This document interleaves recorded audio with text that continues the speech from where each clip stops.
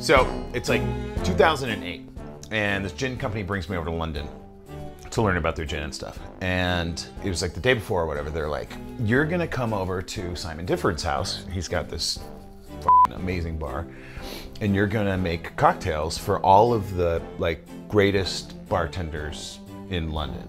You know, like the old guard of bartenders, all these guys." And I'm like, "Holy shit!" Everybody in this room is like a professional, except for me, right? so after after a couple hours, we're making them drinks. Everybody's kind of hanging out, you know. Again, I'm very intimidated.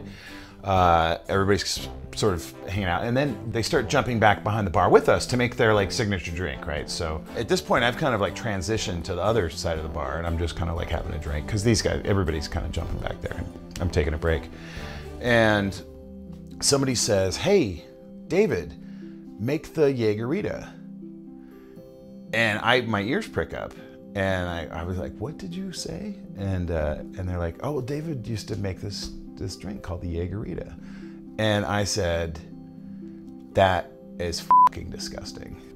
And so he goes back behind the bar, and they're like, "Just, just wait, like just just relax, okay?" So he jumps back behind the bar, and he whips up a Jägermeister margarita, Jägermeister Cointreau lime juice uh, a little tiny bit of simple syrup and shakes it up and, and hands it to me. And I'm it's still, like I've watched him make it. The guy's an expert, he's a professional.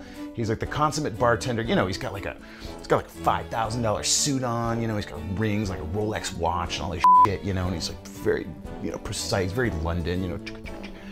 And he makes this drink. I'm watching him, right? I know what a good bartender looks like. This guy's a great bartender. And I'm still, like, as I'm like grabbing the glass, I'm like, this gross. And I take a sip, and I'm like, oh my God, that's the best drink I've ever had in my life.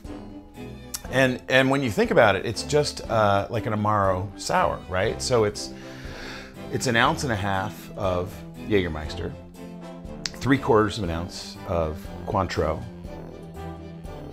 uh, three quarter ounce of lime juice,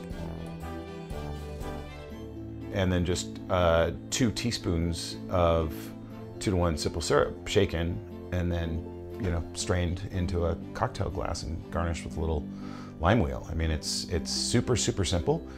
Uh, it's super herbal. It's super tart.